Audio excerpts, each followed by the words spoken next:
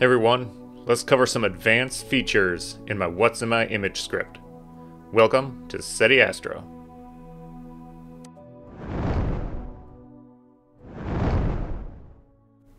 If you have my repository already loaded in PixInsight, you should already have my latest release. Otherwise, please go to my website, setiastro.com, to uh, get the standalone zip.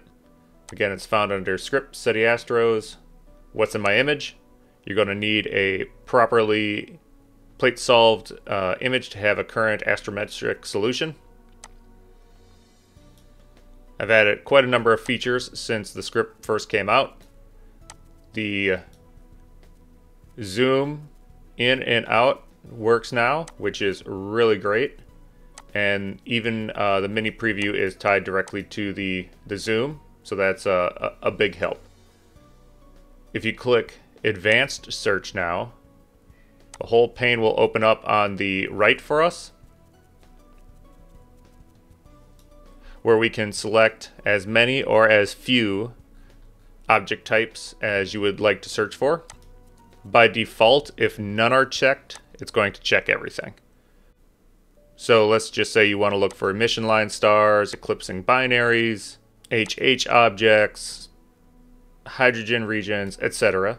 You make your selections, click confirm selections.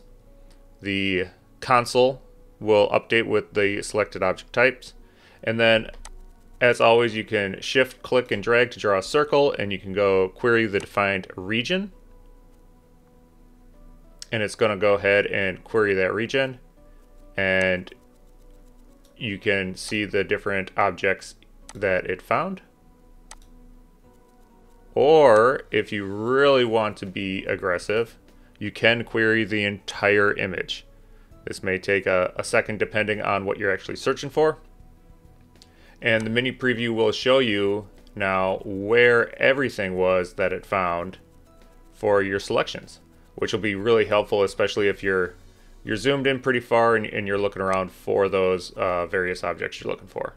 Now, not only can you click the marker and it's going to highlight the respective row, you could even double click the marker directly and it'll open uh, the Simbad entry for it. So you don't got to necessarily find the row down here to double click on, you could just double click directly on the marker. If you do want a more detailed search of an area, that Simbad just isn't giving you the results you want. So let's say there's some objects in here you, you still want to find.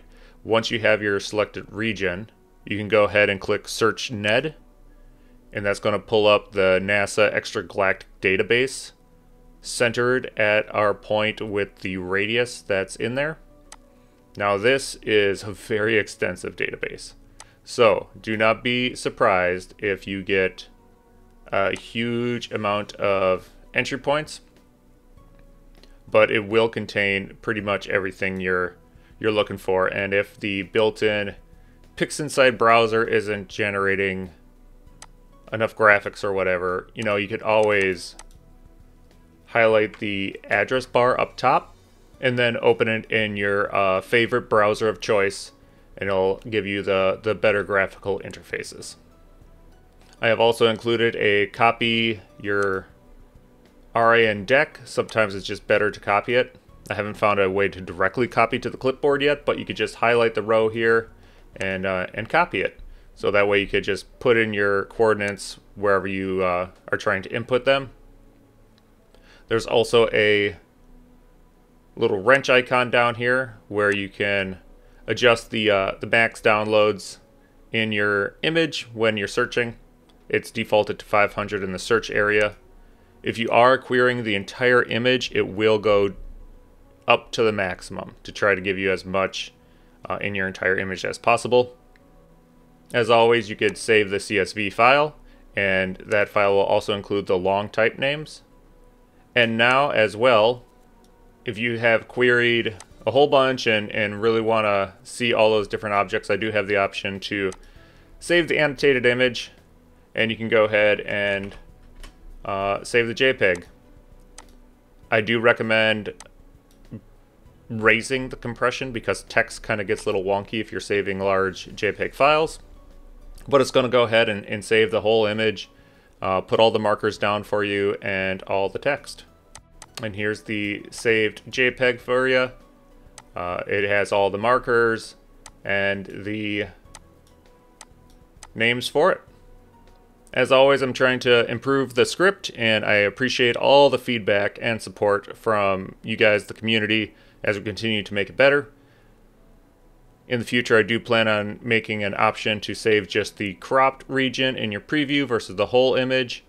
Also, various fonts and font sizes, things of that nature, just to pretty it up a little bit more. But the core functionality for searching and trying to identify the objects in your image is really the intent of the script, and I think we're really getting close to just have an amazing script. Please comment, like, and subscribe.